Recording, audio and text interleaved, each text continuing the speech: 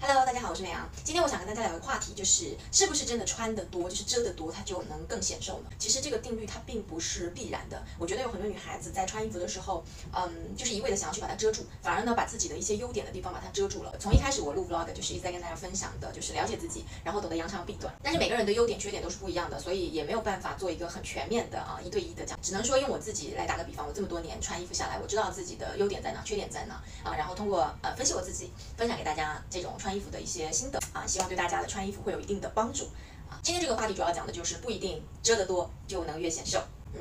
剩下的我们就边换衣服边讲吧。刚开始我们讲上衣，那我还是近景一点给大家讲。但我临时找不到那种就是有很多针织的 T 恤，它是这样子包袖的。我的肩膀是属于比较宽，而且我带孩子，呃，妈妈的话，这个手臂都算是比较粗啊。比起我年轻的时候，我的手臂肯定是比较粗的，这个是生过孩子的啊姐妹们都应该都知道的。那我穿这样子的衣服呢，它就会显得我的上身很壮。呃，有点像一个健身教练。嗯，总之来说，没有我喜欢的纤细感的感觉，因为我是巨蟹座嘛，我很喜欢那种柔柔弱弱的女孩子。但是这种风格就是显得我很阳刚、很壮。我现在换一个挖肩的，呃，就是露的比较多的，给大家看一下对比。总体来说，它露的更多了，但是实际上它从视觉上面，呃，一个是把我的脖子变细了，因为它是黑色的裹在这边。然后呢，肩膀还是那个肩膀，但是它连了我最好看的就是锁骨的这一块，所以它有一个连贯性的，看起来我的手臂就不会那么的粗。加上这种比较有飘飘一点的材质，它就会显得人比较纤细、比较温柔、比较好看。所以并不是说遮的越多越显瘦。或者说越显纤细的，还是要知道自己的优缺点在哪里，然后呢，把优点展示出来，缺点的部分不要一味的想办法去遮盖它，而是说让它自然的显现出来，会显得你更自然、更显瘦的一个方法。而且有的时候我们在就是穿很多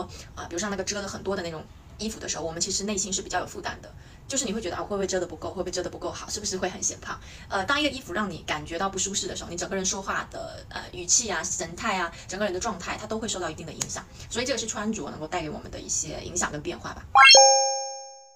第二个跟大家分享一下衬衫，呃，衬衫的话呢，因为它是比较制式的，就是比较传统的这样的一个单品，我选了一个五分袖的，然后真丝的，嗯，穿起来是蛮显瘦的，但是呢，就是很容易显贵气、显老气。就特别正经、特别正规的样子。平时的我的话，我还是喜欢显年轻一点点啊。那在显瘦效果上来说，其实你选择一些啊大宽领的、oversize 的，然后颜色比较鲜艳的，它其实显瘦程度跟这个差不多。这件真的是蛮显瘦的，但是就是略老气啊。如果你只为了啊显瘦这件事情去选一件衣服的话，我觉得是太片面了啊。我觉得我们就是要方方面面都考虑到一个好。然后我接下去换一个啊那个舒瑞绿的衬衫给大家看一下啊，之前也出现过好几次了，是我比较喜欢的一个单品。它是无袖的，但是它做了一种大落肩，所以它在显瘦的程度上来说是不亚于刚才那个五分袖的。但是它从颜色、从款式上面去看，不是时髦的。一点半点的，就你看我现在讲话，我都觉得我自在很多，因为这是我平时会穿的衣服。我不喜欢那种很正经的衣服啊，我喜欢这种比较有潇洒的感觉的，然后会让你说话感觉更自在，然后带风的这样子的一个衣服，它是会对整个人的气场有非常大的一个提升的帮助的。穿搭也好，呃，穿穿衣风格也好，它真的就是你所选择的一个生活方式的一种体现。你这个人的性格，你这个人的穿衣风格，它达到一个有点像知行合一的那种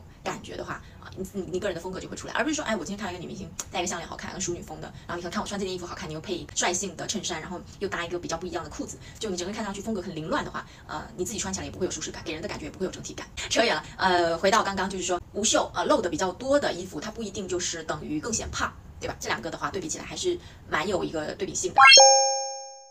那今天内容就到这里了啊！还有一句肺腑之言想要说哈，嗯，所有的穿搭的心得也好，体会也好，都是从我个人出发的啊。我讲的可能是比较片面的，不是说所有人都适合啊。我只是在这边分享我自己穿衣服的一些心得，所以我在那个范围内的话语权可能不一定有专门做显瘦穿搭的来的那么厉害啊。总而言之，以上观点仅代表个人。好了，希望对大家有帮助了，拜拜。